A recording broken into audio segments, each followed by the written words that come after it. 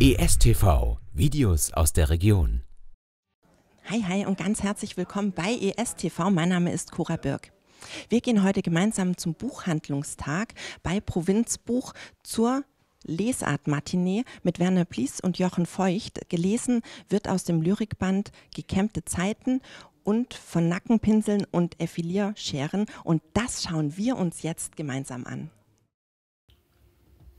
Koordinaten. Wagemut im Senkrechten. Schnittpunkte der Tapferkeit. Nur du weißt vom Werden der Winde.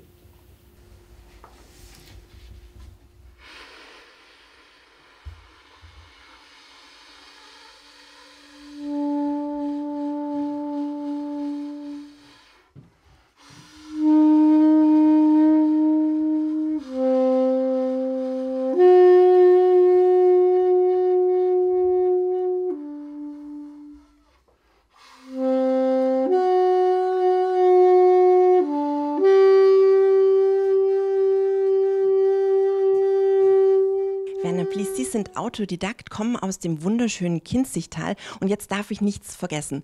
Sie kolorieren, Sie malen, Sie fotografieren, Sie machen Skulpturen, Sie schreiben Romane und Gedichte. Habe ich irgendwas vergessen? nee, ich glaube nicht. Ich glaube nicht. Also es gab mal eine Zeit, da war das anders. Da stand ich einfach als Unterhaltungskünstler auf der Bühne mit 15 Jahren. Aber da werde ich vielleicht nachher eine kleine Einlage bringen. Das hat sich dann glücklicherweise gewandelt halt in Kunst, die halt Anziehung war und auch Lebensretter, kann man beinahe sagen, ja. ja. Warum haben Sie denn heute genau diese beiden Werke mitgebracht? Ja, das eine, ähm, die Kindheitserinnerungen, ganz wichtig jetzt, die sind halt entstanden. Über 15 Jahre, muss ich sagen, und sind jetzt publiziert worden im Pop Verlag in Ludwigsburg, wo auch mein Gedichtband, aus dem ich einige kleine Sachen lesen werde zu Beginn, äh, veröffentlicht wurden. Und die, ja, das ist so was wie ein Lebenswerk gewesen. Also da nochmal einen Blick drauf zu werfen und äh, all das zu verarbeiten, was da an Schönem und weniger Schönem eben vorgefallen ist. Zu dem, und, und mich zu dem gemacht hat, was Sie heute vor sich sehen, ja. ja. Jetzt interessiert mich brennend, wie haben Sie denn Herrn Jochen Feucht kennengelernt? Das ist eine spannende Frage. Über die Ulrike Ehrmann. Also wir haben nur einmal telefoniert. Ich habe mich dann gefreut, ihn natürlich im Internet zu finden und habe auch auf Instagram immer einen Post mit seiner Musik halt dann begleitet. ja.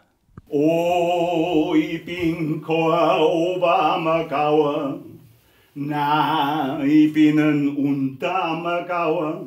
Sehen's, das ist mein größter Jammer, wollte saufen mich schon in der Ammer.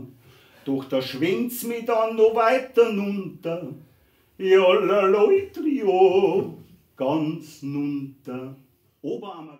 Jochen Feucht steht bei mir. Sie sind eine Größe in der deutschen Jazzszene, aber auch darüber hinaus. Ähm, Sie kommen aus Kirchheim und begleiten heute die Lesung mit dem Sopransaxophon. Wie kam es zu dieser Idee? Äh, die Idee ist schon alt, ich mache das öfters, ich mag das total gern, äh, spontan zu improvisieren zu anderen Genres, also Sprache oder Lyrik oder auch bildende Kunst oder ähm, die Kombination der verschiedenen Genres mag ich schon lang. Wenn Sie jetzt zu den Texten improvisieren, wodurch lassen Sie sich inspirieren? Äh, das weiß ich dann, wenn ich die Texte gehört habe. also das können Bilder sein, Gefühle, das kann aber auch ein Sprachrhythmus sein. Ähm, das ist immer anders, es kommt auf die Texte an. Und ähm, am liebsten mache ich es so, dass ich die Texte nicht vorher kenne und mir nicht vorher überlege, was ich mache, sondern dass es möglichst spontan ist. Also wissen Sie jetzt noch gar nicht, was passieren wird? Nein. Mega. Sie werden auch der Meister der leisen Töne genannt. Warum? Äh, das müssen Sie den fragen von der Stuttgarter Zeitung, der das geschrieben hat.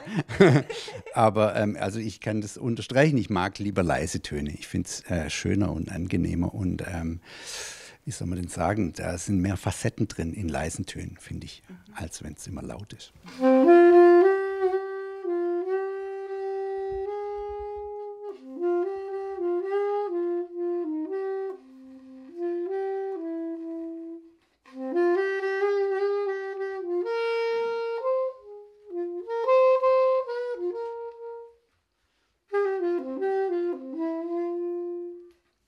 Bei mir steht die Inhaberin von Provinzbuch, Ulrike Ermann. Vielen Dank, dass wir hier sein dürfen.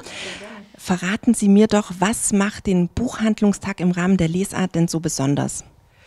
Ja, das ist einfach äh, dieses Besondere, dass wir selber selbstständig eine Lesung organisieren innerhalb der Lesart. Wir machen das ja eigentlich immer, das Jahr über auch, aber innerhalb der Lesart hat es natürlich nochmal eine andere Außenwirkung und die Buchhandlungen sind ja sowieso beteiligt an allem in der Lesart. Und insofern ist es schon super, dass es dieses Jahr das erste Mal zum 30. Jubiläum eben stattfinden kann. Warum haben Sie denn die Matinee als Auftakt für den Buchhandlungstag ausgewählt? Also wir sind ja drei Buchhandlungen, die da mitmachen, der Ossiander, die Zeitgenossen und wir. Und für uns, ich mache immer sehr gerne Lyrik, ich mache auch gerne Musik. Und dann war für mich ganz klar, das muss irgendwie sowas sein, womit wir unser Profil bedienen.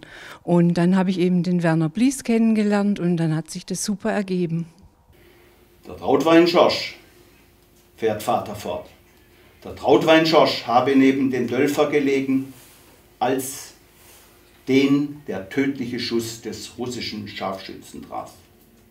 Vater bricht in Tränen aus, beginnt zu schluchzen. Ich kenne seine folgenden Worte, die er wieder einmal kaum über die Zunge bringt. Die Beste hat's genommen und die größte Säckel sind wieder rumgekommen.